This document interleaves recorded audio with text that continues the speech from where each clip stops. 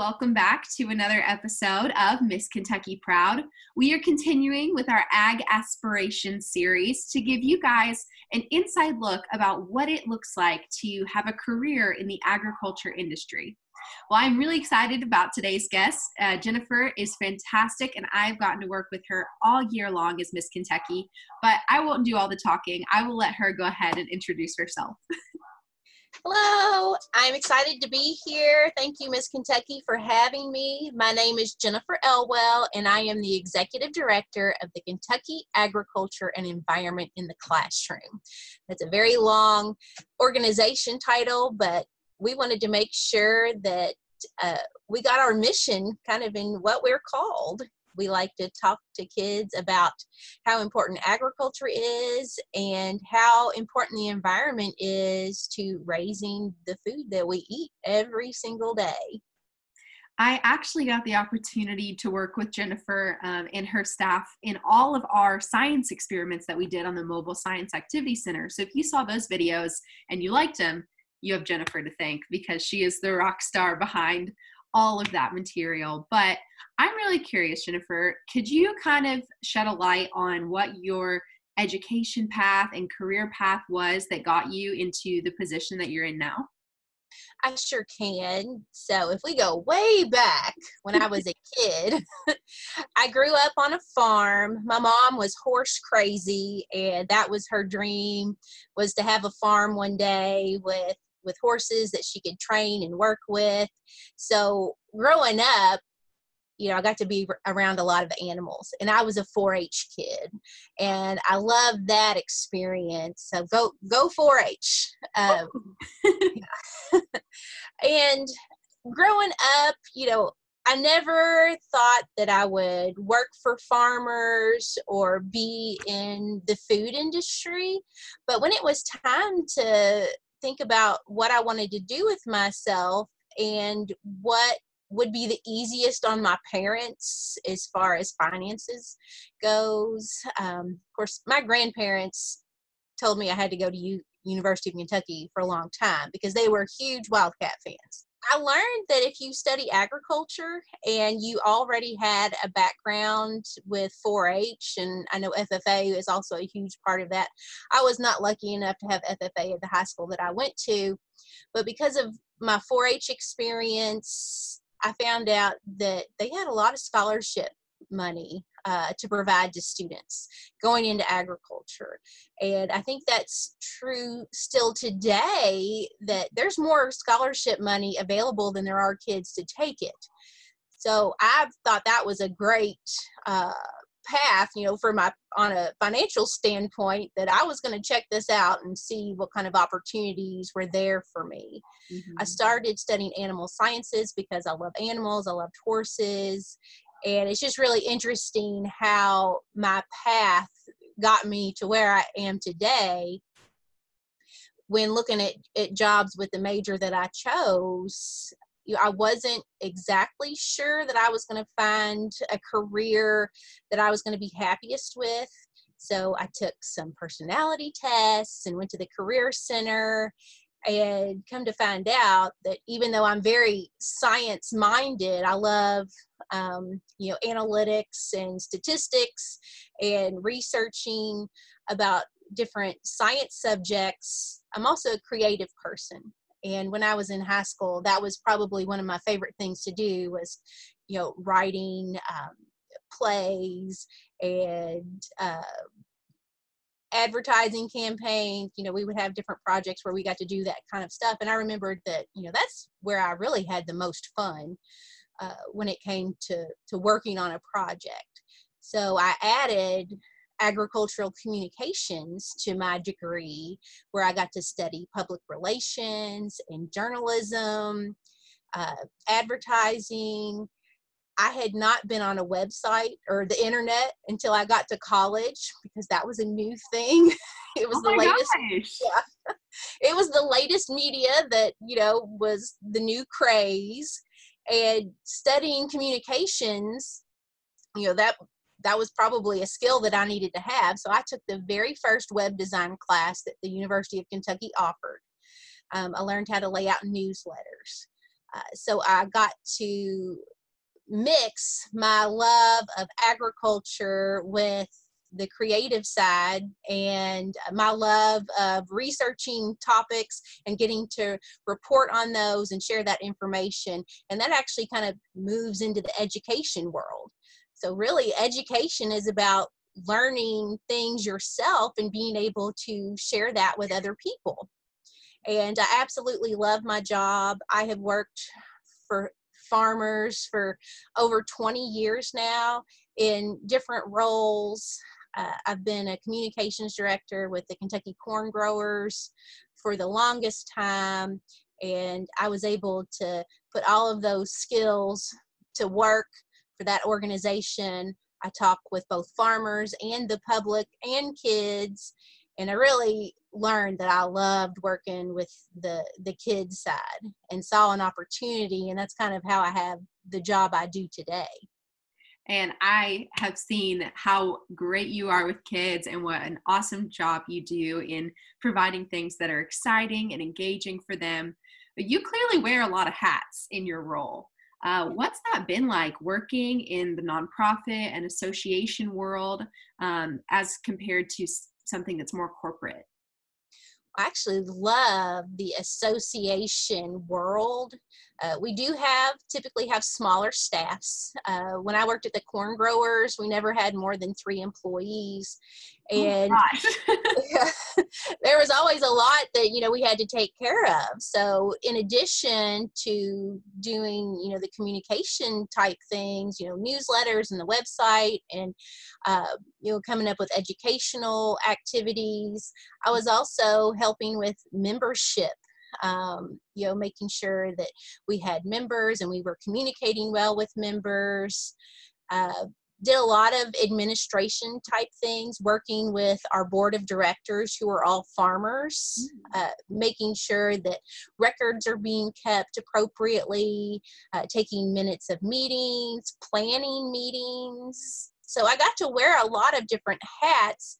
And because I was able to do that, there was really a lot of on the job experience and i got i got a in a point in my career where i felt that i could move into more of a leadership role and that's when i entertained uh, you know the possibility of me becoming the executive director of this uh, nonprofit organization and i'm able to you know use all of those skills uh, that I learned in my in my previous job, and it, I love being able to, you know, do the different things to, to get the job done. You know, I'm working with um, our different board members. I'm working with all the other organizations within Kentucky agriculture, whether, you know, it's the pork producers or the cattlemen's or the soybean board, uh, the horse council.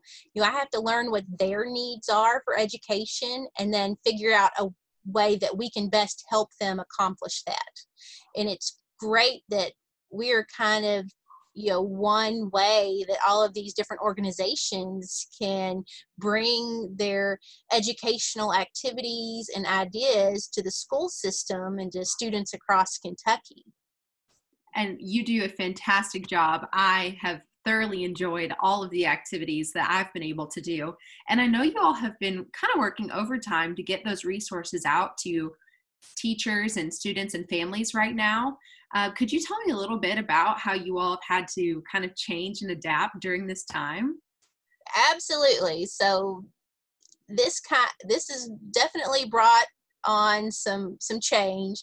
Now we were already, you know, providing a lot of our resources and lessons on our website so teachers could download them and use them, but they we realized they weren't really in a um, in a format that a teacher could easily share with their students online with these non-traditional instruction days so you know learning from the teachers that you know we've worked with all along you know providing us some some uh, guidelines on what programs to use, how we need to structure our lessons and our worksheets. We've been really trying to pick our favorite lessons and, and do those first um, and also trying to figure out what the teachers needed this this last little bit of school. But i do feel that going forward we're probably going to try to do more of that um, to you know, prepare for what may come down the road.